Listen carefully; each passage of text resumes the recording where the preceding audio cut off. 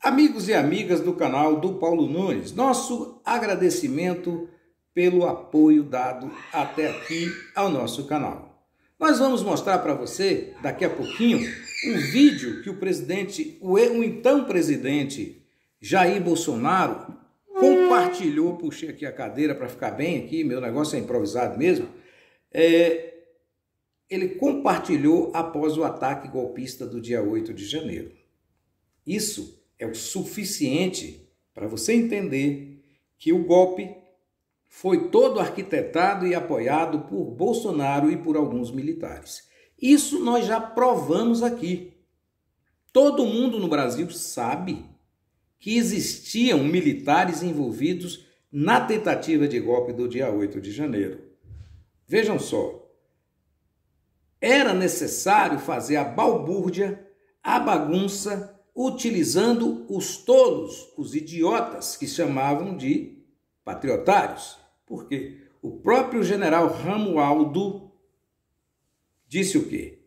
Que o que, que é a sabotagem? Você coloca algumas pessoas tolas para fazer o que o poder militar não pode fazer para não aparecer. E eles obedecem à ordem unida. Por quê? Porque você treina os cabeças. E nós já provamos aqui que o ataque aos três poderes foi feito de maneira organizada, foi feito de maneira militar. Não é aqueles patriotários que não sabem nem sequer bater uma continência direito ou, ou colocar a bandeira no local correto do corpo, ou ainda fazer a marcha de forma correta. Você via que eles eram tão tolos que eles marchavam de forma errada, eles sambavam na. Quer dizer, nada daquilo existe nas forças militares. Mas dizer, olha, vocês vão em bloco, atacando de forma ordenada, e vocês, uma parte vai para esse, para esse local, outro vai para esse, para esse aí, é militar. Quem aprendeu uma coisa chamada distúrbios civis sabe o que eu estou dizendo, né? Que a tropa chega em pequenos grupos para resolver o problema de distúrbio civil. Você vai marchando em conjunto, com seis ou sete homens, até chegar ao local, dependendo do tamanho do distúrbio, você chega e abafa o distúrbio civil. Como ali você não, você teria é, a impressão que poderia ter uma repressão, e aí não seria distúrbio civil, seria a defesa das pessoas que estavam protegendo o, o, os prédios, você foi de forma grande para evitar que o pessoal que estava defendendo os prédios pudessem usar arma de fogo. Ninguém atira contra 100 pessoas, mil pessoas, porque não vale a pena. As forças de segurança elas são orientadas a atirar apenas para resolver o problema. Se não vai resolver, não vai atirar. E eles contavam com isso. E ainda contavam com a participação de alguns membros dessas forças de segurança, comandadas pelo Anderson Torres, que era o ministro da Justiça à época e que queria o golpe e foi mentor do golpe também. Entenderam? Contavam com a Polícia Militar de Brasília, que foi quem escoltou os vândalos. Os marginais foram escoltados pela Polícia Militar de Brasília. Ora, que, que a Polícia Militar de Brasília levaria 3 mil pessoas para invadir o, os prédios? Qual razão? Nós não podemos entender tal coisa.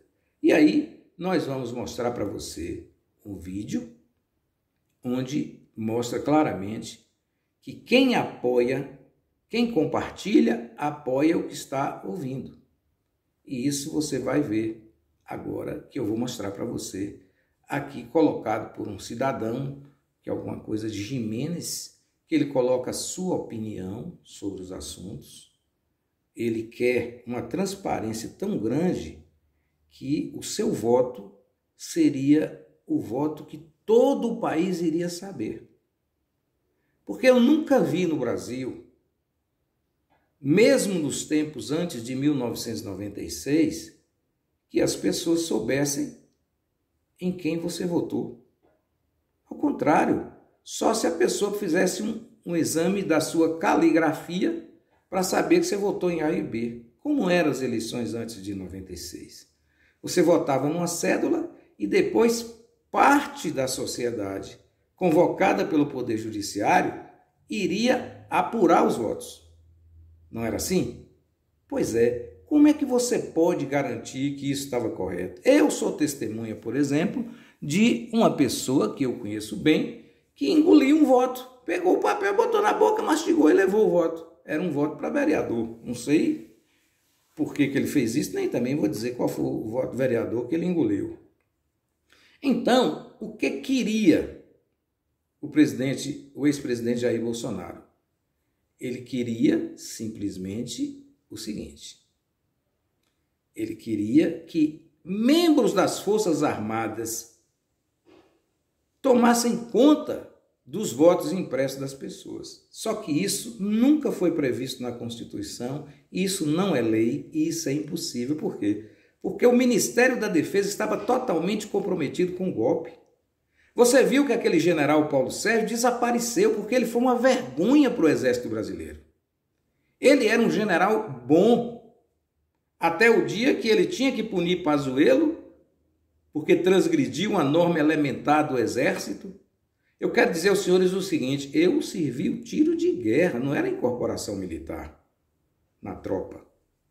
E para poder sair de Vitória da Conquista para a cidade de Jequié, eu tive que levar autorização e me apresentar no, no quartel do TG em Jequié, para receber o carimbo, para provar que realmente eu fui. Eu não tinha compromisso, eu não estava incorporado, eu não era funcionário do Exército. Eu fazia apenas a prestação de um serviço militar temporário. Claro que você aprende tudo, é como se você estivesse lá, mas você não recebia salário, coisa nenhuma. Agora você imagine se eu não fizesse isso, eu ficaria detido. Poderia pegar três ou quatro ou cinco dias de detenção. Agora, como é que um, um general fala de política sem autorização do comando e não acontece nada? Iria ser punido. Bolsonaro levou esse, esse, esse general Paulo Sérgio no avião dele e foi lá para Manaus. E quando ele voltou, ele já voltou diferente e pegou e encerrou sua carreira de maneira vergonhosa, mandando perguntas que ele não sabia nem o que, que significava. Contratou hacker para poder fazer coisa errada e dizer que a, a urna não, não, não valia a pena. Meus caros e minhas caras, se toda vez que tiver alguém que acha que a urna eletrônica não está valendo a pena, que está errada, você pegar e modificar tudo, você não tem eleição no Brasil. Então, qual é a pergunta que eu faço? Pelo amor de Deus. Qual era a transparência que tinha nas eleições antes de 1996? Alguém poderia dizer? Que você votava, marcava lá com X, né? Você não assinava nada e seus votos eram contados por terceiros, pessoas comuns, a serviço da Justiça Federal Eleitoral. Aí contava os votos, passava o mapa, você estava eleito. Nesse meio sempre teve fraude. Sempre teve. Se não tinha fraude na contagem, tinha fraude na passagem do mapa, que o que valia era o mapa que o juiz assinava. Então, às vezes você colocava lá 459 votos e poderia automaticamente passar para 159 votos. Aí sobraria aquele restante, cairia em outro o juiz não sabia de nada, ele assinava um mapa e aquela pessoa poderia ser eleita. É completamente diferente da urna eletrônica. Agora o cidadão fala que em 96 se quebrou a transparência e a publicidade. Qual era a publicidade que era dada às eleições antes de 96, meus caros? Agora eu pergunto: os poderes da República existem e você deve confiar neles? Quem disse que você não pode confiar nos poderes da República? Todo mundo sabe que o servidor público ele tem fé pública. Se ele pode errar, e se errar vai ser punido, que inclusive com a perda do, do, do cargo. Agora eu pergunto, qual é a diferença daqueles servidores comuns que eram chamados esporadicamente para a apuração dos votos para os servidores de hoje? Pelo amor de Deus, só porque você não vai ganhar a eleição, aí você cria um problema, que é o que esse rapaz que está cansado de falar, que fala, fala, fala, mas o que ele fala não, não se escreve. No início do vídeo, meus caros e minhas caras, ele está é, quase inaudível, mas não tem importância porque você não vai perder nada. Eu vou soltar ele aqui e você vai prestar atenção no que é dito né, nesse vídeo.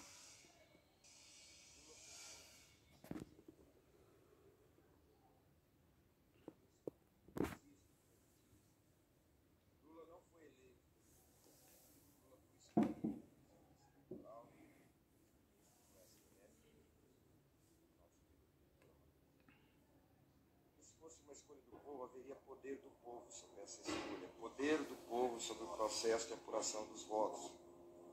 E é isso que eu venho repetindo há anos. Eu estou bastante cansado de dizer, e as pessoas não dão importância para isso. Existe um princípio que constitui a democracia, que é o princípio da publicidade. É um dos princípios que está lá, que estão lá no artigo 37, que é o princípio da publicidade. As pessoas ouvem isso e não dão importância, é como se fosse a buzina de um carro. Quando eu digo assim, o princípio constitucional da publicidade foi quebrado em 1996. As pessoas não dão importância, entra por um ouvido e sai pelo outro. É como se fosse a buzina de um carro passando. Se eu dissesse para você, o edifício está caindo, uma das vigas, uma das colunas do edifício rachou. Entendam isso. Em 96, uma das colunas do edifício foi quebrada pelos ministros do Supremo Tribunal Federal, foi quebrada pelo Serviço Eleitoral Brasileiro. E as pessoas ficam nessa fantasia, como se estivessem assistindo um filme de James Bond, de cada um querendo ser mais interessante na discussão do assunto. Não interessa como que o ladrão entrou na sua casa, você foi roubado. O que importa é isso, você não vê a apuração dos votos, você não vê nem o seu voto. Como é que você pode ter a certeza de que uma imagem que um software mostra numa tela para você é igual àquilo que saiu da sua consciência? A imagem que você vê é produzida pelo software. Um software que não está sob seu controle, que não foi escrito por você, que não é verificado por você. O Estado é laico, não exige fé do cidadão. Ninguém é obrigado a confiar em servidor público. Confiança é confidere, fidere, de fides, fé. Estado é laico. Ninguém tem que ter fé em ninguém numa democracia. Não existe princípio de fé na democracia. O serviço público é obrigado a fazer esse trabalho às claras, diante dos olhos do cidadão. É por isso que a Alemanha recusou a urna de primeira geração. É só por isso. A Corte Constitucional Alemã, quando rejeitou a urna de primeira geração, basicamente o que ela disse foi: qualquer pessoa, qualquer pessoa, do cientista até o catador de latinhas, tem que ter a possibilidade de ver a apuração dos votos. É por isso que a Dinamarca vota numa cédula do tamanho de uma folha de jornal. É por isso que o Japão materializa o voto. É por isso que a Índia materializa o voto. É por isso que o Paraguai usa uma urna de terceira geração, que materializa o voto, porque nós seres humanos não temos nenhum sentido que nos permita ver pulso elétrico. E não adianta essa bobagem de comparar o sistema financeiro com o voto. Os dados que trafegam na, na cibernética do mundo financeiro são dados rastreáveis até a origem. Qual é a origem do seu voto, Mário? É sua consciência. Como é que alguém pode rastrear a sua consciência? Só você e ninguém mais no universo pode dizer que o registro fora de você é igual à sua consciência. Por isso que o voto tem que ter matéria. Você viu aí que as explicações dele é, não correspondem à verdade. Primeiro ponto: claro que você pode rastrear o voto até a origem, mas aí implica numa coisa muito importante que o voto pela Constituição Federal, que o doutor Felipe Jimenez esqueceu de frisar, ele é secreto. Secreto. Então, você não pode saber em quem votou. Mesmo que o Brasil não fosse um país de marginais, inclusive esses que governaram no governo passado, que são capazes de fraudar qualquer coisa, conseguem fraudar a voz, conseguem fraudar texto, conseguem inventar mentiras e com essa história de fake news contar mentira como se isso fosse verdade? O voto é secreto, doutor. O senhor está fazendo palhaçada. E aí o Bolsonaro foi na onda que interessava para ele continuar mentindo. Ora, meus caros e minhas caras, um presidente da República que inaugurou na nossa história 6.345 mentiras durante o seu governo. Falava de coisas que automaticamente caíam por terra porque eram mentiras. O que que interessava? Interessava ganhar a eleição na mentira.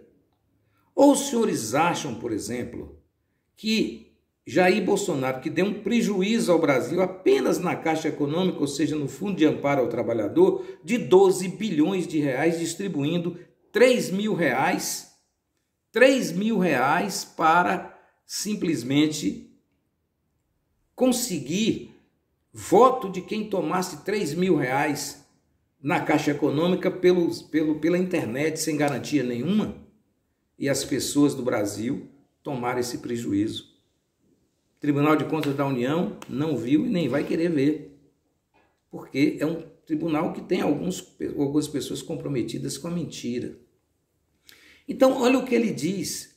O cidadão tem direito de ver o voto. Na Alemanha, o cidadão sabe quem ele votou, assim, é, escrito no jornal? Não. E ele diz que rejeitou. Não tem nada disso. Na Alemanha, a votação também é eletrônica. E ele cita o Paraguai como exemplo. Para realmente, o Paraguai tem um sistema diferente do Brasil que aparece o voto. Lá eles sofrem alguma coisa por aquilo, porque é um país que a questão de segurança é complicada. É o país que mais faz material contrabandeado do mundo. É o Paraguai, inclusive com muita coisa no Brasil, contanto que a gente fala isso aqui, esse uísque é paraguai, porque é falsificado. Agora, não é isso que importa. O que é pior nessa declaração, corroborada por Jair Bolsonaro, é que simplesmente o cara coloca em dúvida, esse sujeito aí, os ministros do Supremo Tribunal Federal. Ora, não foi eleito, foi desejo do Supremo Tribunal, do Tribunal Superior Eleitoral. Que palhaçada é essa? Então, esse tipo de palhaço, ele bota um paletó, uma gravata e tal, e se arvora no direito de ser advogado e começa a criar essas coisas para dificultar a democracia. Esses não lutam pela democracia, meus caros. No passado, você deixava aquela lista enorme de pessoas que não votaram e era completada por quem tivesse prestígio na cidade. Existiam juízes que faziam corpo mole, faziam e fingiam que não viam. Então, na eletrônica você vota lá e você sabe que votou. Porque você vê a confirmação. Dali ele não vira outra coisa. Aquele voto seu está colocado lá. O sistema tem como mostrar o voto. Não tem problema algum. Agora, não interessa o sistema mostrar por quê. Porque ele tem que embaralhar para evitar, por exemplo, que a milícia do Rio das Pedras Tome conhecimento em quem você votou e venha lhe punir, inclusive com a retirada da sua vida. Aqui em Vitória da Conquista tem um empresário muito simpático que disse aos seus empregados, 200, que saberia onde eles votavam e se eles não votassem Jair Bolsonaro, seriam demitidos. Ora, peraí, qual a transparência que você quer? Para impedir que a democracia seja feita? Teve uma empresária, uma pessoa desqualificada lá da região oeste da Bahia, que disse o seguinte: que todos aqueles que exploram a, a, a, a agricultura na região do oeste da Bahia deveriam demitir todo aquele empregado que votasse no PT e observasse a quantidade de votos que o PT teve em cada cidade. Então existia isso no Brasil em larga escala e o Bolsonaro se servia disso para colocar os poréns no resultado da eleição. Mas eu pergunto a você, de sã consciência, Bolsonaro ganharia essa eleição, gente, pelo que fez? Claro que não, porque não fez absolutamente nada que merecesse a conquista do voto.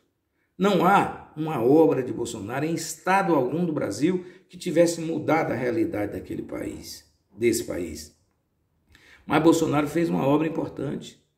Ele fez a reforma da Previdência Social e impediu que aqueles que começaram a trabalhar com 15 anos se aposentassem com 40 anos de serviço. Só se completasse 65 anos de idade. Tirou a aposentadoria por contribuição, que antes era contribuição feminina de 30 anos e de homem com 35.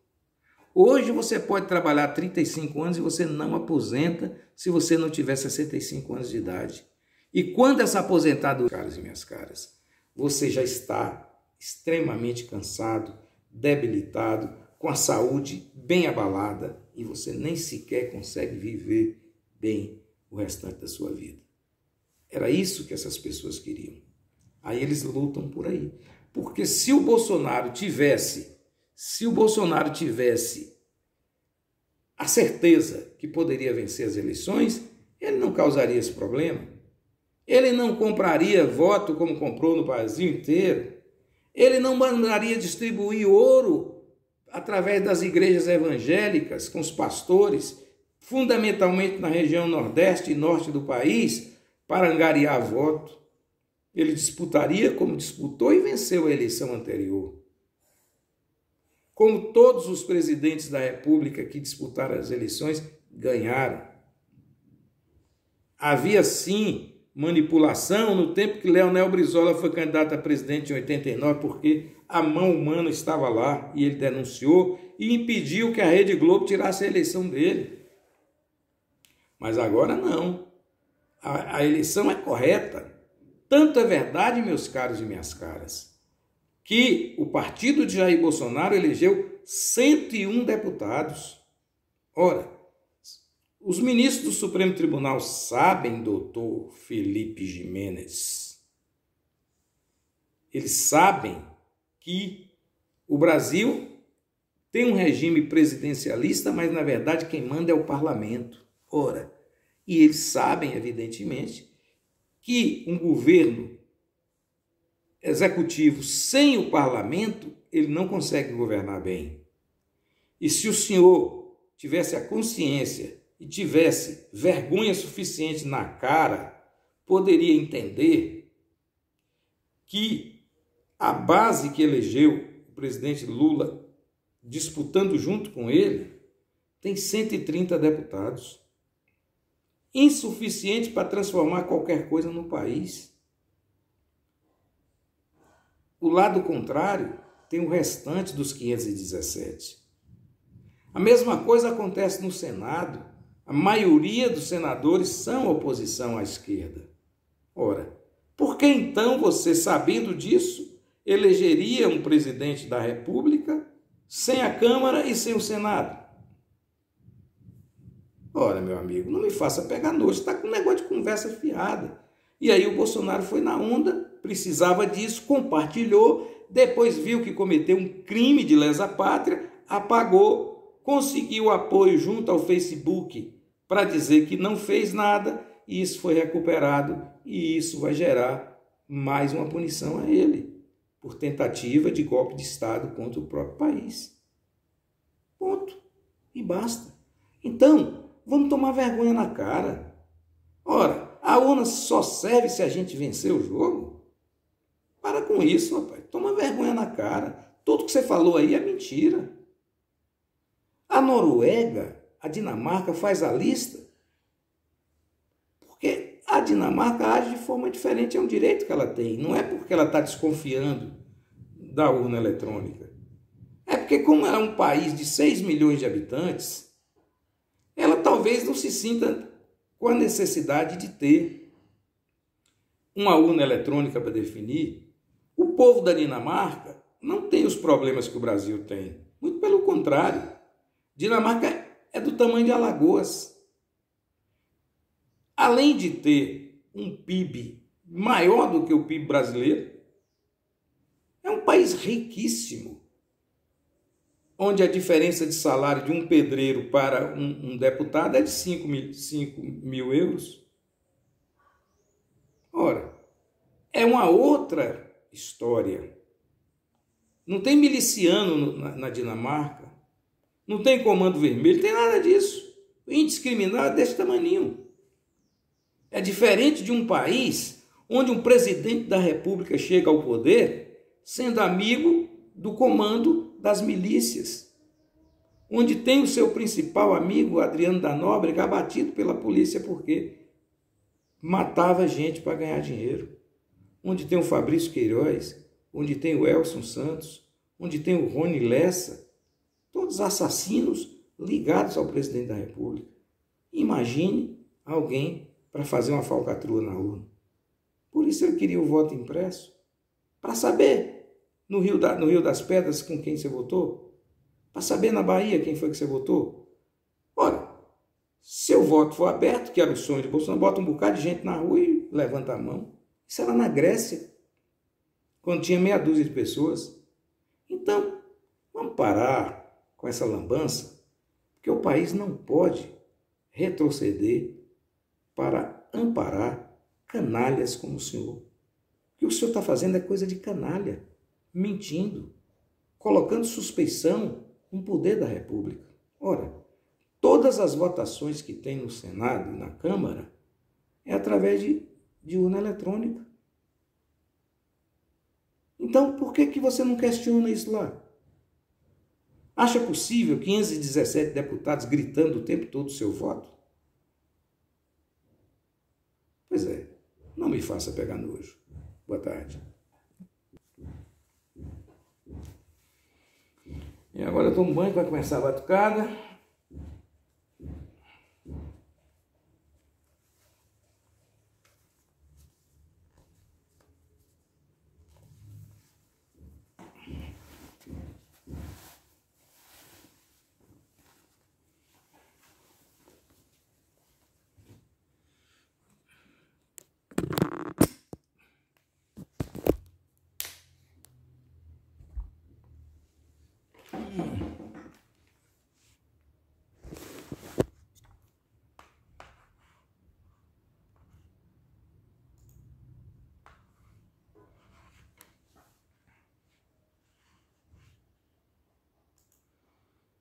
E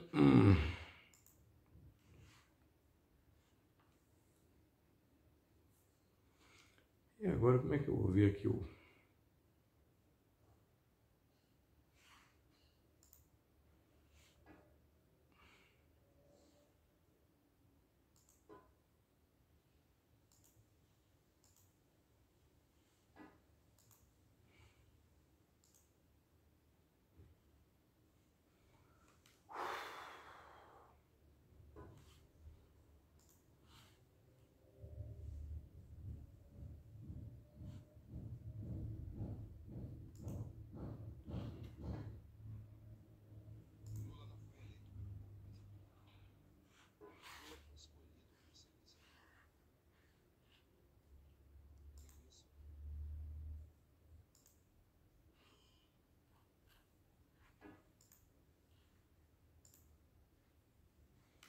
e